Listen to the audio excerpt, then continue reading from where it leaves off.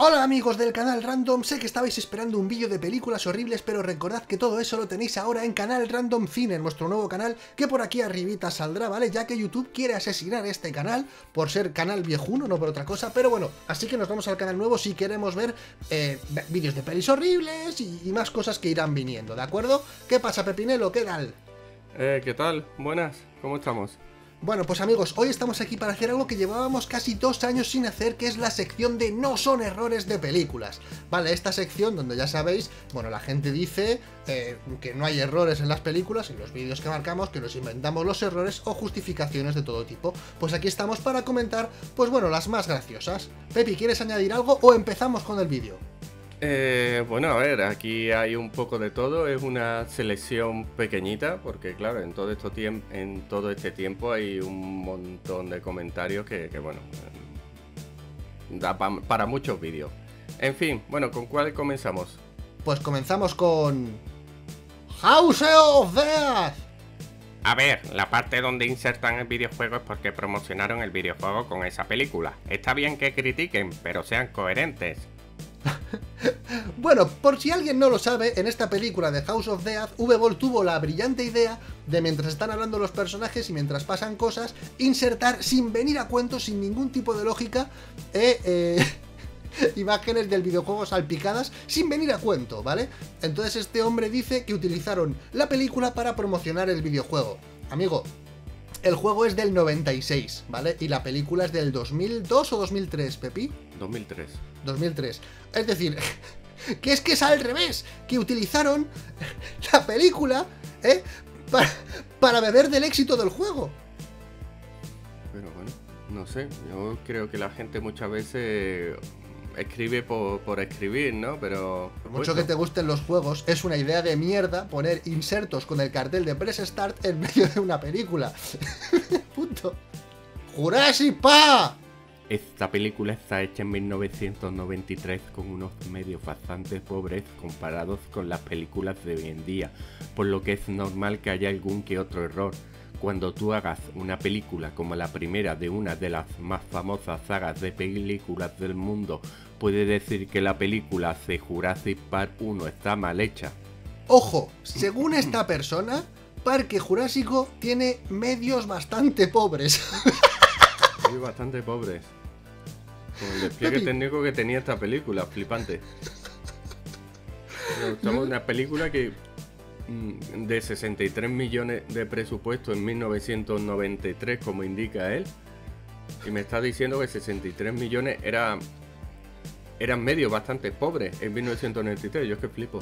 Es que era acojonante, ¡San Andrea! Es película, pero ¿por qué no dice que esta película muestra consejos de supervivencia en vez de criticar esta gran película? Debes de pensar que es un aviso de lo que podría pasar en la vida real. Espero no ofenderte, pero así son las cosas. Hombre, em, dale tú, dale tú. No sé, pero consejos de supervivencia no da a ver, intentan sobrevivir a, la catástrofe, pero yo qué sé, no, no hacen nada que, te, que a ti te ayude a sobrevivir. Eh, no hacen nada, no sé, esto no es como el, tío este, el, el Beer Grills, como se llame, ¿no? El último superviviente que eh, se va ahí a un desierto, se va a un bosque y te enseña cómo alimentarte, cómo sobrevivir, cómo evitar, yo qué sé, animales tal y cual. ¿no? Aquí hay edificios que se destruyen y gente intentando salir de ellos.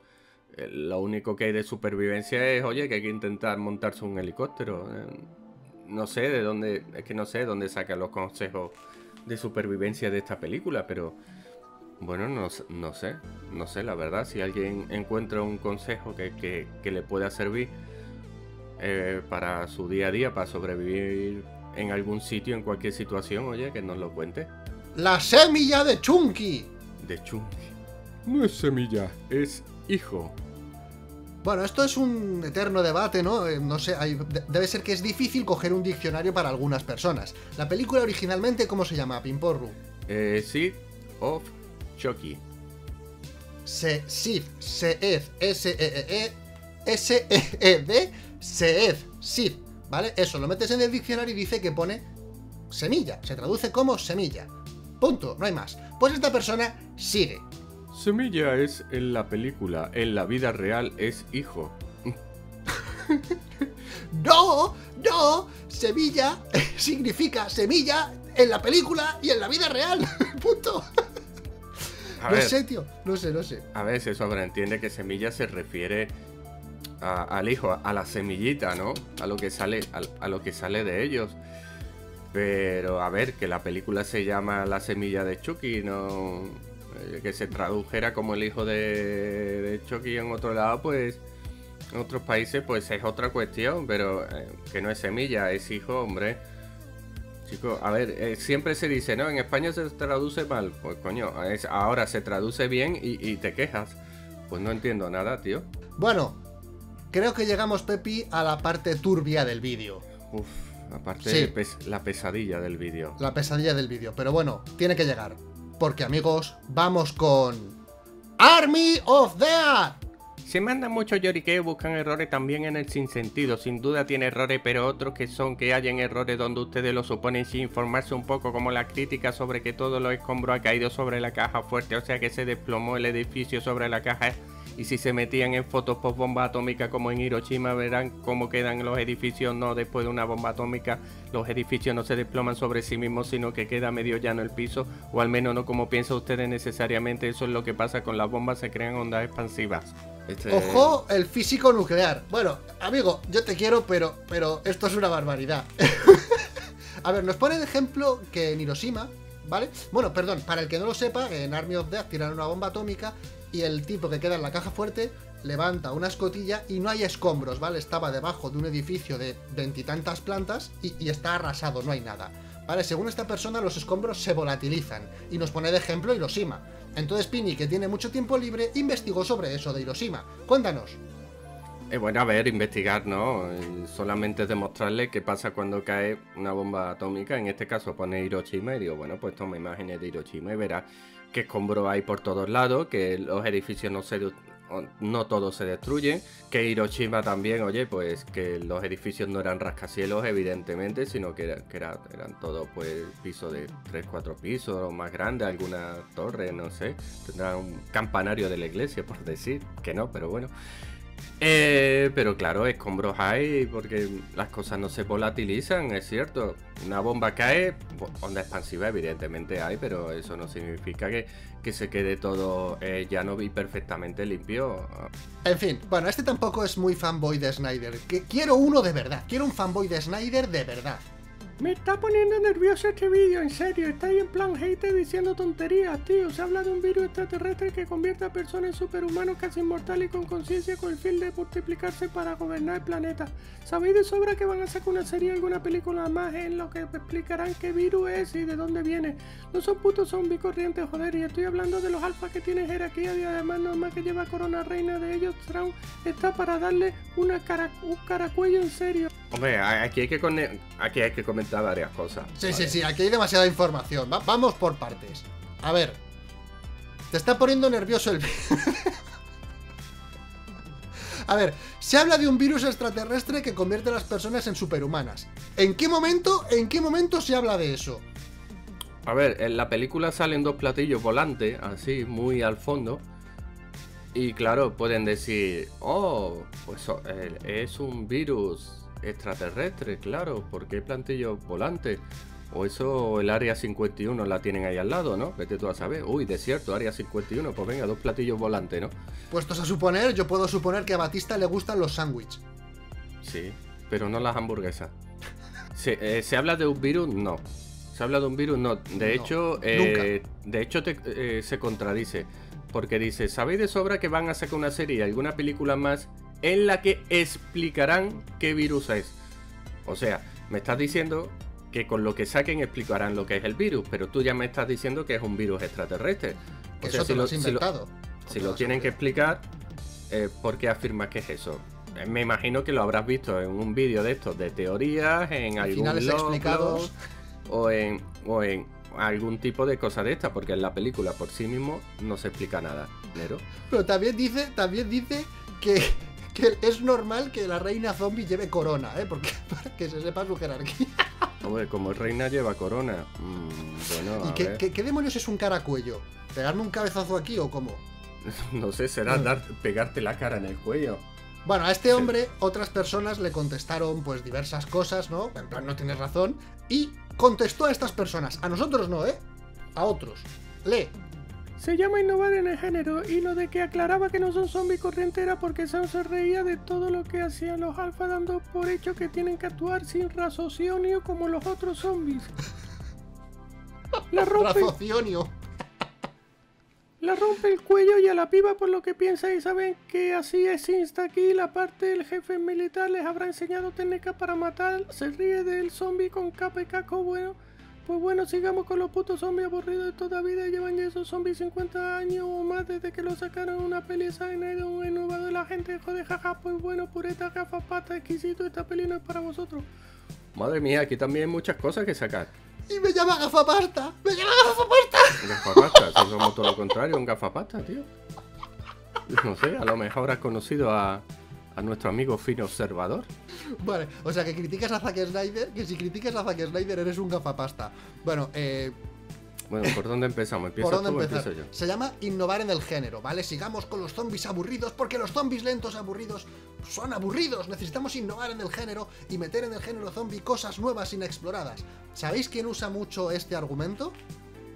¿Sabéis quién usa mucho este argumento? Y esto es verídico porque he leído este mismo, mismo argumento de un sector muy concreto en el internet. ¿Tú lo sabes, Pini? En el internet, vengas, sorpréndeme. Este es el mismo argumento que utilizan las fangirls de Crepúsculo. Exactamente el mismo. Hay que innovar en el género, no van a ser los vampiros siempre igual. Pues puedo decir que los fanboys de Zack Snyder son iguales que las fangirls de Crepúsculo. Lo puedo afirmar con este comentario. A ver, a, ¡Me van a matar! a ver, es ¡Me van a que.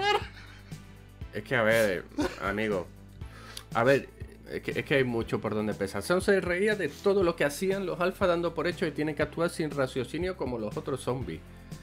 Eh, vale, son, son zombies, ¿vale? Eh, si haces otra cosa, eh, no son zombies, ¿vale? Bueno, le rompe el cuello a la piba porque piensan y saben que así es insta-kill. O sea, le rompe el cuello porque sabe que, que así muere. Bueno, vale. Y, y- si le arrancas el cuello de un bocado, pues tam- también sabes que muere, ¿no? También, también es insta-kill si le tirotean. ¿Por qué no ponemos a los zombies con escopetas? Hombre, saben subir ascensores y saben hacer otras cosas, oye, pues podrían usar armas, yo que sé, un triste palo o algo, pero aparte de jefe militar y le habrá enseñado técnica para matar. A ver, a ver, aquí nos estamos equivocando. Nos estamos equivocando mucho. Eh, como que el jefe es militar. Eh, no se supone que esto viene de... Joder. Del espacio. Es militar espacial, claro. Eh, hombre, a ver, viene un virus zombie, pero claro, eh, es militar realmente porque en la película creo que no aclaran de dónde viene el alfa, ¿no? Esto es otro que, que, bueno, que para saber, para, para conocer ese dato, tienes que haberte informado, pues porque lo haya dicho Zack Snyder en alguna entrevista, porque lo hayan escrito en algún sitio. Esa es la película, no lo sabes. Estamos en lo de siempre. Ah, Que llevan ya esos zombies 50, 50 años o más, eh, pues no, amigo, no, no. Más llevan, más, llevan, Más, ¿vale? Bastante Pero. más. Casi 90, te diría. Eh, más llevan, pero pero bueno, eh, claro, o sea, nos te- nosotros nos tenemos que informar, pero tú para decirnos estas cosas no. Me parece genial, ¿no? Eh, Omar, desde que lo sacaron en una peli, madre mía, es un innovador. A ver, a ver, innovador. Innovador. Eh, eh, lo de los zombies tigres ya existía. Lo de los zombies o eso de, que el sol les molesta y tal en zombies. Oye, pues tienes algo muy parecido en Soy Leyenda, ¿no? que no pueden estar al sol, pero a la sombra, oye, pues también eh, hibernan, eso tampoco se lo inventó Zack Snyder, ¿vale? Y la gente le jode, jaja, o sea, o sea, em, A mí me la pela, amigo. a mí me da igual lo que haga. Zack Snyder, es que tenéis una obsesión de, de la gente con de, de lo que piense la gente, de lo que hace Zack Snyder.